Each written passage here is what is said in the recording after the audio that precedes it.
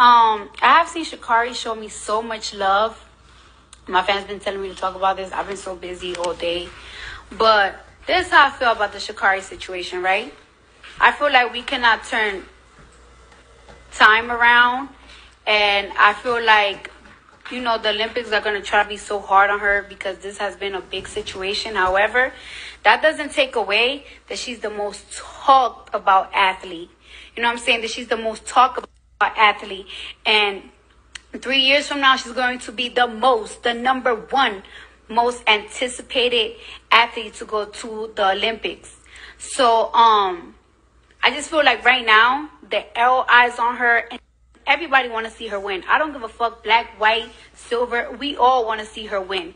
And it's like, and that's why Nike is standing behind her because she's so valuable and she's, I don't know, she just touched our heart. I guess because she's such a, to me, she's such She's a girl that I would love to hang out with, that I would love to party. Like she's just so regular, but yeah, she's she's fucking talented as hell.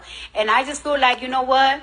Since all eyes is on you, make sure you get all that um all that endorsement money all that endorsement money. Make sure you tell your story. Like I am so interested.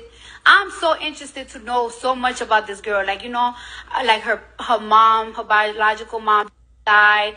I want to know so much about this story because there's like there's so much people that are that go through things just like Shakari. That like she said, they are humans, but um yeah, have this super. So I'm gonna say superpower. Like running as fast as she does is not even talent, it's a superpower.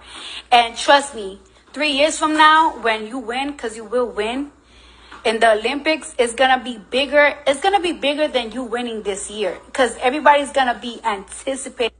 No matter, I know that like when shit like this happens, this fuck your mental up for a whole day, this fuck your mental up for a week. But guess what?